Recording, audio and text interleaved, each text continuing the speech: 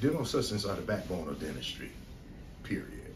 Um, if we had to equate it um, to a hospital setting, we're the nurses of the dentist office, period and point blank. We do everything from bringing you in, um, checking you in, uh, IDing you, taking vitals, setting up the equipment, working directly with the doctor, um, bringing everything back into sterilization and starting the whole process over. So we're we're the nurse, the cleanup crew, the the counselor, and everything else. So dental assistants are very very vital, and um, I'm glad to be one.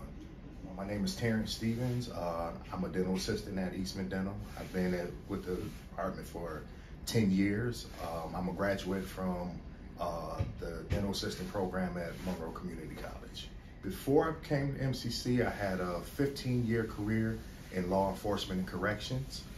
And then um, just by fate, I decided uh, that I wanted to pursue something different and I chose dentistry. I wanted to go in the medical field. I actually looked into nursing, but um, I did a feeler through uh, everything at MCC.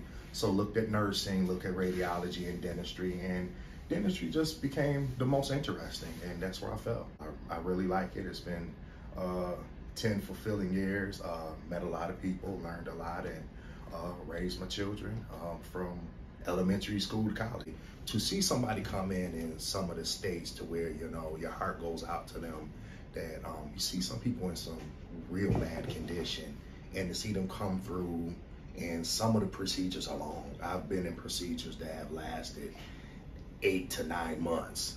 But to see the end result and to see the person at the end to have a person come in in their initial interview and you know they frown or talk with their mouth covered and to see them I've had people smile when they have their implants in and just break down and cry and that's that's the fulfilling part of it just to um, get get a person to where they need to be.